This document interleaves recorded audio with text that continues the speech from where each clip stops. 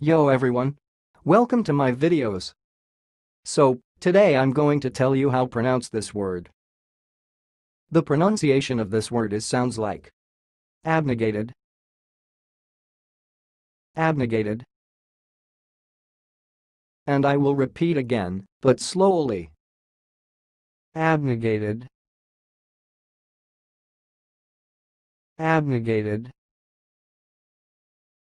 That's all, thanks for listening. If you liked this video, please subscribe to my channel. If you want to share your opinion, please leave comment for this video. Thanks and goodbye.